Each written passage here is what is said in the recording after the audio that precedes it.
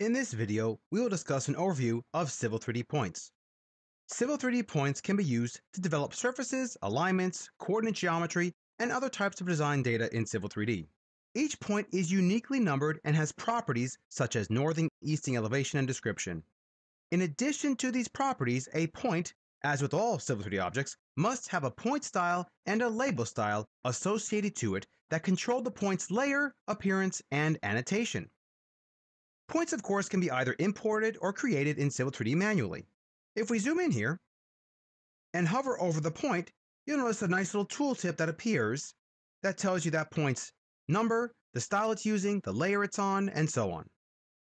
Points live in the Prospector tab in the Points category. As you can see in the preview pane, you can access all the points right here as well. As with everything in Civil 3D, there are styles and settings you need to be aware of to make sure the objects come into your drawing correctly. We have a point category, and as you can see here, we have a point styles category that defines the actual layer, block, and symbol that should be used for the point style. So for instance, if we go ahead and open up this tree coniferous point style, you'll see that it's telling Civil 3D what block to use in this section here, what to do with the 3D geometry, and what layer each of the different parts of the point should go on in the plan, model, profile, and section view. And of course, what visibility state they should have.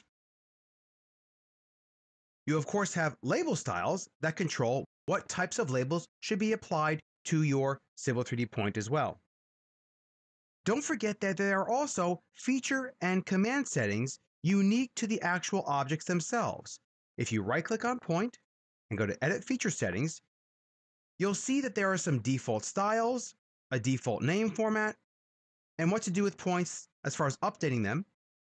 And of course, you have command settings. So for any of the commands used to create points, if you want to actually control the default settings when you create the actual point, such as what layer to use and how you want to be prompted, this is where you would actually define those settings.